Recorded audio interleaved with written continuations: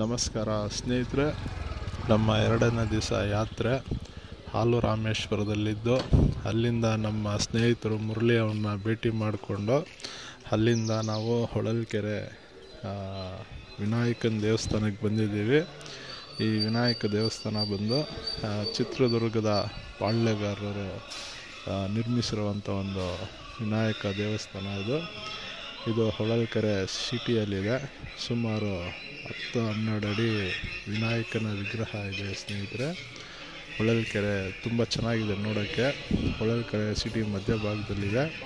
ಇಲ್ಲಿಂದ ನಾವು ಸಂತೆ ಬೆನ್ನೂರಿಗೆ ಹೋಗ್ತಾ ಇದ್ದೀವಿ ಮುಂದೆ.